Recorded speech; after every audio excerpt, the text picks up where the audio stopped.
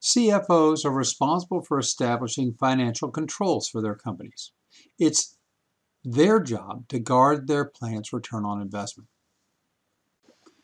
So a logical place to start would be to issue and approve individual POs.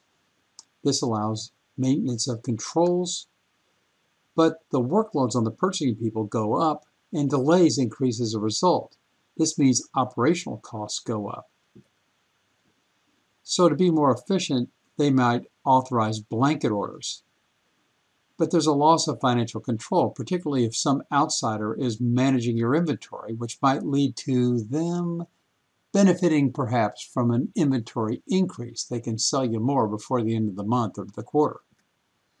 So investment dollars are up, which again impairs return on investment. This forces you back to issue and approve individual POs, and around and around you go.